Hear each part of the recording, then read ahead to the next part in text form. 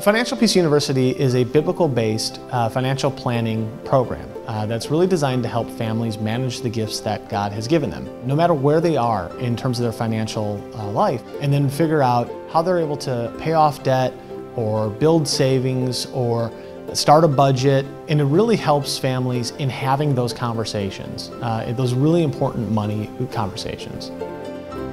Uh, we decided to take part because we really wanted to get a handle on our finances uh, to see where money was going each month. We felt like we were making more money than it seemed like was in our checking account, and we also wanted to have a long-term plan. We had started a little bit of a long-term plan, but I wouldn't say anything that was solid enough to make us both comfortable. The atmosphere in the class is fun. We'll laugh. It's not a stale and stodgy uh, set of DVDs. For people that want to take Financial Peace University, I would say if nothing else, you get a real serious look at what money does for you because it's not ours. It is not ours. It belongs to God.